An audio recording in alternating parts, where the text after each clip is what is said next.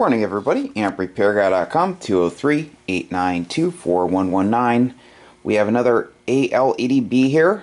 I worked on an AL80A yesterday, but I'm waiting on the plate choke to arrive so I can replace that. The rest is all finished up. And, and then I can test it with a brand new Pentalabs 3500Z.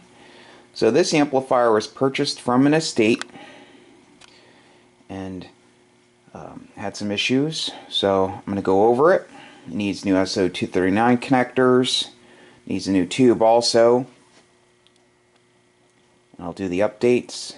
This is an older one. Has the uh, metal oxide varistors, no gas discharge tubes, and um, so I'll check it all over, and I'll see you guys soon.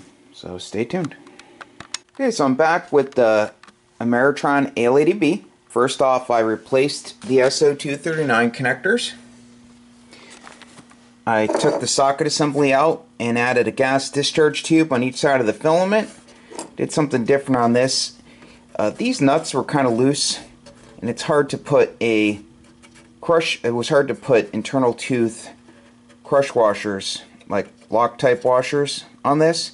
So I ended up grounding, I tightened up real tight and then I grounded each grid connection right to the chassis like they do on the AL80A version. So that's all set. Here are the old SO239s. You can see it just like slips right out.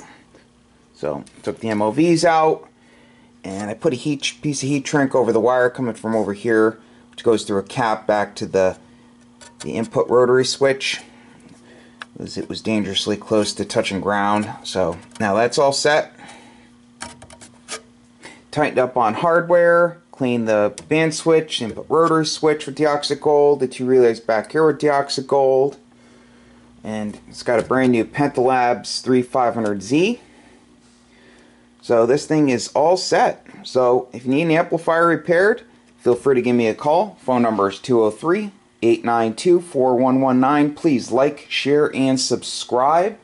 I have another AL80B to do after this. I'm still waiting on the plate choke for the AL80A. More amps on the way. Guess that rhymes. and I'll be back on the the 6000 multi-band amp when I have some free time. But I, I'm always doing something over here, amps and other stuff, so just jam-packed with work. Um, so, like I said before, work before play. So, thanks for watching amprepairguy.com 203 892 4119 73s.